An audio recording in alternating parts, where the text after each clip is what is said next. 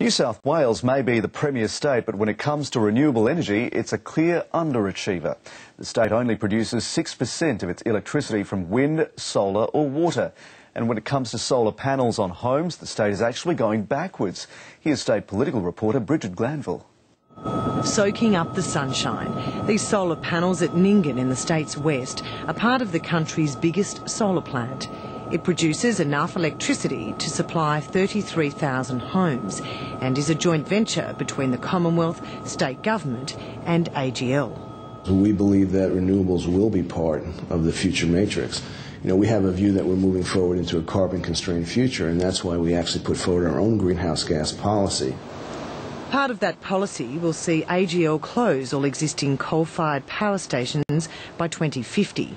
But while they're future proofing, the New South Wales government is stuck in the past. New South Wales is at the bottom of the pack in terms of the Australian states on renewable energy.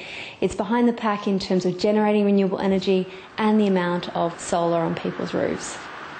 When it comes to generating energy from solar, wind and hydro, Tasmania tops the nation with 95% of its power coming from renewable sources.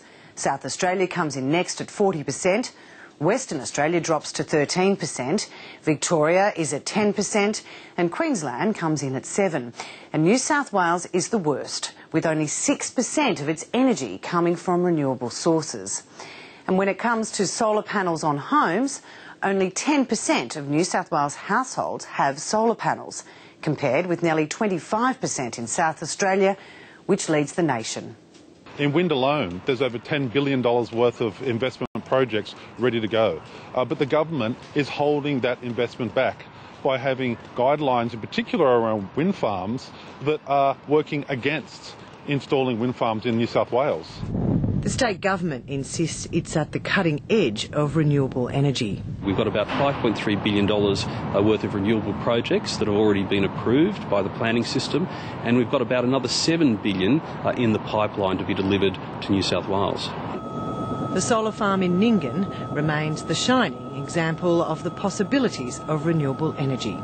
Bridget Glanville, ABC News.